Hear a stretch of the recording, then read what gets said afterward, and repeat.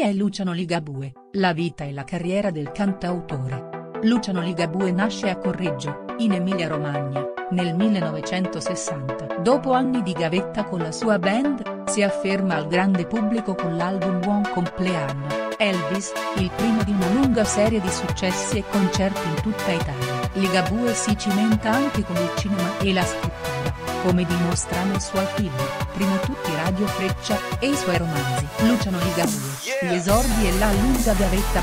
Classe 1960.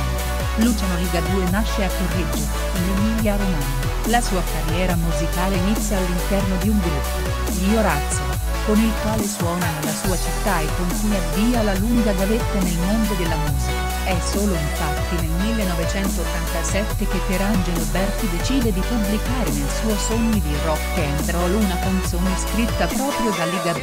Dopo aver vinto nello stesso anno il concorso Terremoto Rock, gli Orazio incidono il loro primo 45 giri, all'interno uno dei grandi successi di Ligabue, Barman.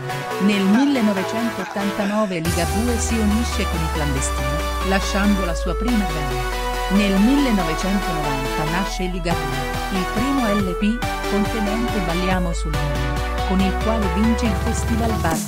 Altri due album vengono pubblicati fino ad arrivare al 1994, anno di pubblicazione del quarto disco, contenente A che ora è la fine del mondo. Ligabue, Buon compleanno, Elvis e i primi grandi successi.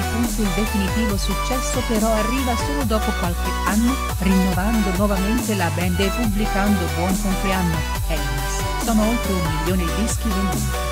Certe notti vince il premio Tempo per la migliore canzone dell'anno. Alla carriera di cantautore si affianca anche quella di scrittore ed è così che, raccontando il suo territorio emiliano, pubblica Fuori e dentro il borgo, che soddisfa anche il gusto della critica. Da alcune vicende raccontate nel suo libro si sviluppa qualche anno dopo, nel 1998, la sceneggiatura del film Radio Freccia, con Stefano Accorsi e Francesco Guccini, che si aggiudica tre nastri d'argento e due David di Donatello, nel 2002 sempre al cinema, è l'anno del suo secondo film, da 0 a 10.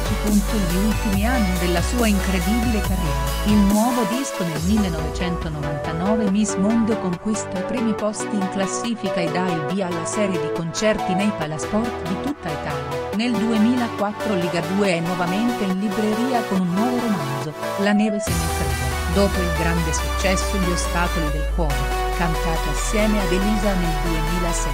Nel 2007 esce il primo Greatest Hits del cantautore. Il 2010 è l'anno di un nuovo disco, Arrivederci, Mostra. E di un nuovo film, Niente paura, come siamo, come eravamo e le canzoni di Luciano Ligabue. Altri album inediti vengono pubblicati nel 2013, Mondovisione, e nel 2016, Made in Italy. L'8 marzo di quest'anno è uscito il suo ultimo disco, Star che è già diventato in poche settimane disco di platino. Dal 2013 Ligabue è sposato con Barbara Pozzo dalla quale, nel 2004, ha avuto Linda, la sua seconda figlia. Questa sera Luciano Ligabue sarà ospite di Fabio Fazio nella puntata di Che tempo che fa.